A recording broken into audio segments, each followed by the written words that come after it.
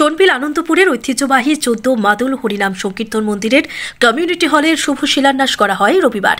উল্লেখ্য, গত বিধানসভা নির্বাচনে বৃহত্তর সোনবিল আনন্দপুর জিপির জনগণ বিজয় মালাকারের কাছে একটি কমিউনিটি হল নির্মাণ করে দেওয়ার দাবি জানালে বিধায়ক এলাকাবাসীকে আশ্বস্ত করেন, ঐতিহ্যবাহী চোদ্দ মাদুল মন্দিরের কমিউনিটি হল নির্মাণ করে দেওয়ার প্রতিশ্রুতি দিয়েছেন। বিধায়কের প্রতিশ্রুতি কমিউনিটি হলের শুভ সূচনা করা হল রবিবার এগারোটা ত্রিশ মিনিটে।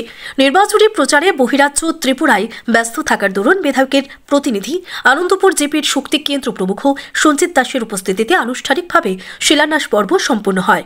এদিনের এই মহৎ কার্যে উপস্থিত ছিলেন আনন্দপুর জিপির বুথ সভাপতি বকুল দাস ভারতীয় জনতা পার্টির বলিষ্ঠ কার্যকর্তা নবলাল দাস কীর্তন পরিচালন কমিটির সভাপতি রতীশ দাস সম্পাদক জয়গোপাল দাস সহ এলাকার বিশিষ্ট ব্যক্তিবর্গ। সোনবিল কালীবাড়ি থেকে বিমল চৌধুরীর প্রতিবেদন। দাস। আচ্ছা আমি আচ্ছা। এই গ্রামেরই বাসিন্দা এবং আমি পূজা কমিটির বর্তমান সম্পাদক। আচ্ছা আমাদের চোদ্দমা দল উনিশশো সাতষট্টি ইংরাজি তেরোশো তেহত্তর বঙ্গাব্দে প্রতিষ্ঠিত হয়। আচ্ছা, আমাদের আচ্ছা। পূর্বপুরুষরা এই চোদ্দমা দল প্রতিষ্ঠিত করেছিলেন যারা আজ আমাদের মধ্যে আর নেই।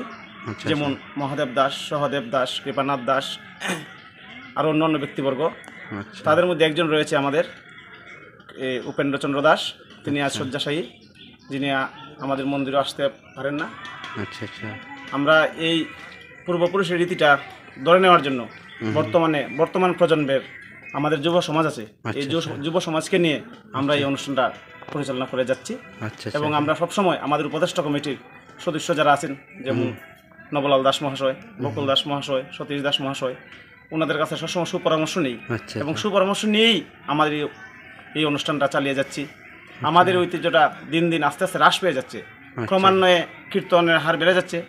এই কীর্তন যাতে আরও মানুষের মনে জাগ্রত হয়ে থাকে সেই জন্য আমরা বিভিন্ন অনুষ্ঠান এই বছর আমরা চালিয়ে যাচ্ছি যেমন সাংস্কৃতিক অনুষ্ঠান আচ্ছা আচ্ছা। আরও কীর্তনের মাধ্যমে আরও কয়েকটি অনুষ্ঠান করেছি ভক্তিমূলক গানের অনুষ্ঠান যাহাতে আগামী বছরে আমাদের এই গৌর ভক্তবৃন্দ এই সময় আসলেই মনে সারা দেয় যে আমাদের আচ্ছা, চোদ্দ আচ্ছা, আচ্ছা। পুনরায় ঘুরে আসছে।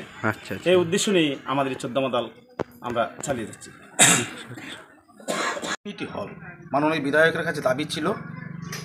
তো সেই দাবিটা মাননীয় বিধায়ক ওনাদের পূরণ করেছেন। তো রবিবার দিন ওটা, ওইটা শিলান্যাস করা হয়। তো মাননীয় বিধায়ক নির্বাচনী প্রচারে ত্রিপুরা রাজ্যে থাকায় উনি আসতে পারেননি।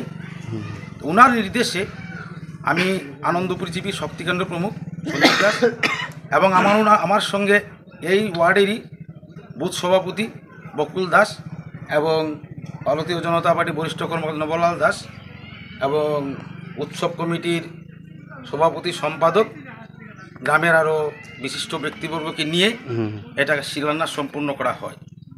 আচ্ছা তো সেটা দশ লক্ষ টাকা ব্যয় অনুদান ব্যয় শিলান্যাস করা কমিউনিটি হলের করা হয়েছে। কত টাকা অনুমোদন হয়েছে? দশ লক্ষ টাকা। আচ্ছা আচ্ছা। তো আমি যেভাবে আমাদের রাতাবাড়ির মাননীয় বিধায়ক ধর্মপ্রাণ বিধায়ক কাজ করে যাচ্ছেন আমাদের রাতাবাড়ির জন্য এর আগে অনেক বিধায়ক রাতাবাড়ি থেকে নির্বাচিত হয়েছেন। কোনো বিধায়কই আমি দেখিনি এইভাবে রাতাবাড়ির জন্য কাজ করা, কাজ করতে। এই বন্যার সময় আমাদের মাননীয় বিধায়ক যেভাবে